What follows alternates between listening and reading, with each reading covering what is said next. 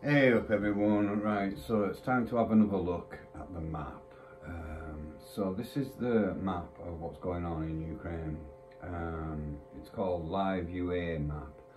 It's basically um, all of the incidents of what's going on in the area and they're all kind of reported by people on the ground so it's kind of like the most up-to-date thing that we can see.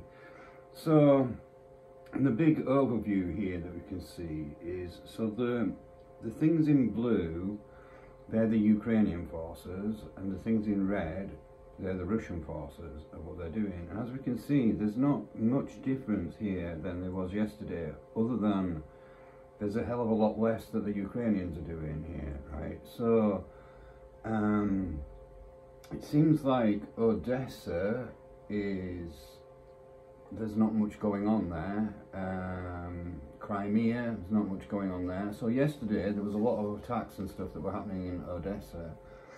And there was a couple of explosions and stuff that happened in Crimea. But essentially, just looking at it as a big overview here, um, it seems like everything's just happening around the borderlines, um, around Donetsk and around Lugansk.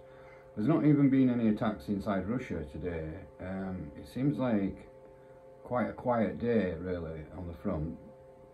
So if we have a look here, right, this is the area that um, the um, the dam was in. Um, so this was the hydroelectric dam that um, got blown up by the Ukrainians, and this whole area down here, this is all flooded. Um, um, and the Atom Vin, Vis, bridge, the Ukrainians have been attacking that, but they seem to have been repelled. Um, and the Ukrainians have been trying to take advantage of the fact that the dam had been burst because it flooded all the Russian defensive lines, all their trenches and everything, they've all been flooded. So the Ukrainians have been trying to use it as a way of like breaking through the lines, but as you can see, that's not really what's going on here. We've just got lots and lots of bombing going on. Um, the whole area is being bombed, and the Ukrainians have been pushed back in their attempts to try and use the dam's um, burst. Um, uh, there's a Zaporizhzhia nuclear power plant. Um, again, there's not much fighting going on around there. In fact, there's no fighting. The Ukrainians are really not being putting up much of a battle in anywhere around the, the border areas. As we can see, there's a hell of a lot of bombing that's going on here um, against this whole area. So this is the first place where there's any kind of fighting happening here. Um, these ones where they've got little guns on them, that tells you where there's been battles. So as we can see there, Russian forces conducting offensive actions in Donetsk and the Lugansk region.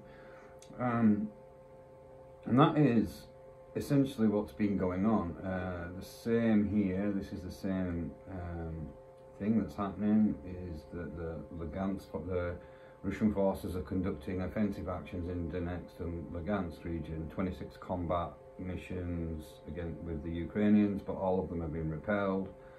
All of them have um, been defeated, and there's just a mass of bombings that are going on. The Russians are essentially just shelling and um, they're shelling and bombing these areas where the Ukrainians are um, and that's essentially what's been going on. Um, the Ukrainians are trying to attack, but they're being repelled and they're just being bombed. I mean, just look at this, this the entire area, the entire um, border area is just being bombed and shelled by the by the Russians.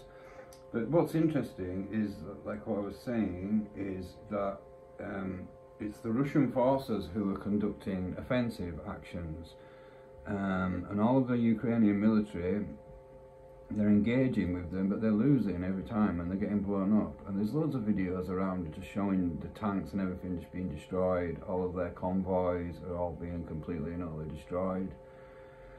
So that seems to be the situation of the day, is the Ukrainian forces just seem to be getting pummeled to death, just getting bombed everywhere along the line. Um, everywhere around there it's just bombing and shelling that's going on. There's not really a great deal to report here. Um, there's been nothing happening in Russia. Like yesterday, there was about four different attacks that the Ukrainians conducted inside Russia. There's nothing today. Nothing in Crimea. Nothing in Odessa. It's just in the border towns around the Donetsk and the Lugansk areas. All of the offensive actions are being taken by the Russians and not the Ukrainians. So yeah, that seems to be the order of the day is the Ukrainians are just getting slaughtered.